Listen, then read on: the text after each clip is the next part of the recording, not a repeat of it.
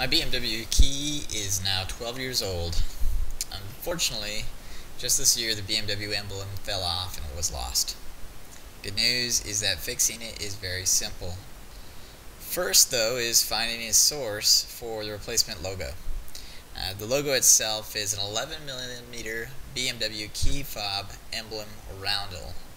Uh, this particular one came from Key Fob Mall in Omaha but there are lots of different ways you can purchase this, and most of them can be had right off of eBay. In fact, many of them are less than $5 for like two of them.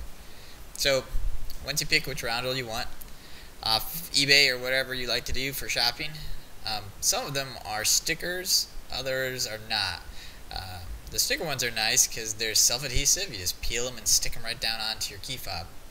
Mine, though, wasn't. So I just applied it with a small drop of hot glue.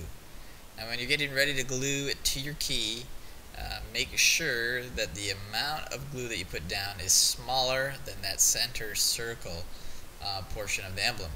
And the reason is because after you put the glue on there, you're going to press down and you don't want it to squish out along the edges. For two reasons. One, it would just look awful, and two, you could actually glue your key button down, so that would be horrible.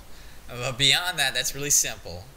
And as soon as you apply some glue, put on the emblem, uh, the key is finished and it looks just like before. Well, I hope this helps, and I hope you have a good drive.